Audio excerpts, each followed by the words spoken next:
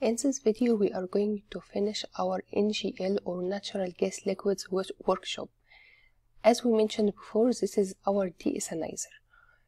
Here, we are going to function the object of the deethanizer, which is to produce a bottom product. This is the bottom product. Double click here to open it with the least amount possible of ethane because it's a deethanizer, so it's removing the ethane at the overhead. And the rest of ethane the traces will be at the bottom but the majority of the bottom will be propane okay? So if we look at the composition we'll find out that the ethane composition is 0.004 and the propane is a high composition. Actually this is the highest mole fraction here. It's 0.6 uh, almost 60% of the feed uh, or the bottom stream is propane okay but as I mentioned before, the objective of the deethanizer column is to produce a bottom product with an ethane to propane molar ratio, say uh, 0.01. So for each one ethane mole, you will have 100 uh, propane mole. Okay, so how to define this one? We go to this is a spec, so we go to monitor monitor here and we are going to add another spec here. Okay so to add another spec we add the spec from here. But if we add another spec this will upset the degree of freedom because our degree of freedom equals to zero which means it's fully converged and all the data is available. Okay so in this case we are going to deactivate one of the active uh, specified value. And we are going to add another um, spec which is the column component ratio because here we have a component ratio. In this case, as I mentioned before, the rate is the least important, okay? Because most of the time we don't use the any rate to um, define uh, or to make the degree of freedom uh, satisfied okay? So in this case this actually equal to 1 it's a, a, rate but it is equal to 0 so it doesn't matter because the rate is equal to 0 but this one is 3100 uh, no this is 317.5 kilogram mole per hour. This one must be inactive okay? And we are going to add another spec so in this case we are going to add this spec and in this case we know we have a column component ratio so we go to a column component ratio and the ratio is between the ethane and the propane. For each ethane we have 100 propane. Okay, so double click to add it. And after the double click, we will have this one. It's a component ratio and it's for the stage of a reboiler. This is our last stage or the bottom. So we take we take the bottom from the reboiler. It's a mole fraction and it's in a liquid phase. We know that we need it to be 0.01. This is the value. Okay, this one 0.01. And the nom nominator or the top or the top component is the ethane and the bottom is propane. So dividing ethane by propane equal to 1 over 100. Okay so we now have our spec fully uh, defined so we will close here and go to the component ratio and we will make it active after making it active it will be unconverged because the degree of freedom equal negative 1 which means we have added more information that we need so in this case we uncheck the overhead vapor rate like this one and it will be converted again without actually pressing run. It will be automatically changed. So our component ratio here, this one, if we view it, the component ratio, we will call it C2 or ethane divided by propane. And okay, now we will have this one active, the component ratio. Second one is the reflux ratio. And the third one is the distillate rate. Okay we are which means we are not going to have any distillate uh, from the condenser. So now after doing this one um, adding this new spec let's check the overhead vapor rate. Before we specified to be 317.5, but after the calculations, it's only 307.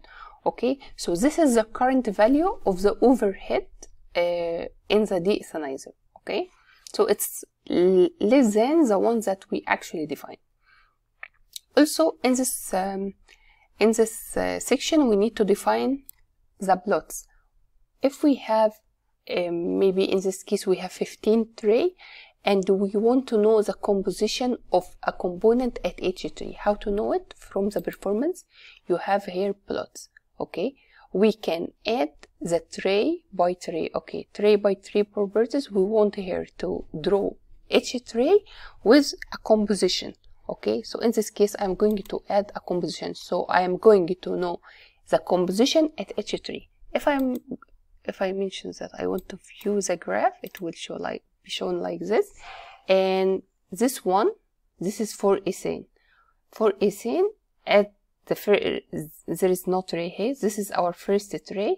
The composition is high, and with moving down this one, it's like moving down in the column. The composition will decrease. Okay, so this is our uh, different component. If you want to change anything okay let's uh, make it smaller. And if you want to change or edit anything in the column you should go to properties. Where is properties? This is properties okay? If we open it here uh, actually everything is open tightly. So you can choose whatever component that you want to draw. So in this case maybe i'm going to check for the methane only okay? The methane only and it's a molar maybe i'm changing it to a math and in the vapor okay we are uh, drawing it so maybe in the vapor phase okay?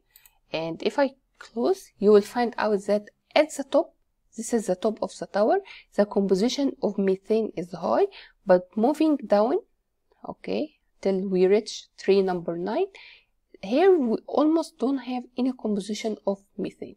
So if you want to plot any graph showing maybe ethane or propane mole fraction in a vapor phase or a liquid phase with the theoretical stage, this, are the theoretical stage, you can go to performance and from performance you check plot. Here you have a summary of what is happening through the deethanizer. This is the column profile. In this case, you have a condenser and a reboiler, and this is the 14 trays that we have. You have the temperature, the pressure, the liquid, and the vapor.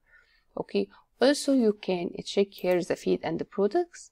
Okay, as a condenser and a reboiler and different trays. And we here from this uh, performance uh, page, you know that the feed enter at tray number six.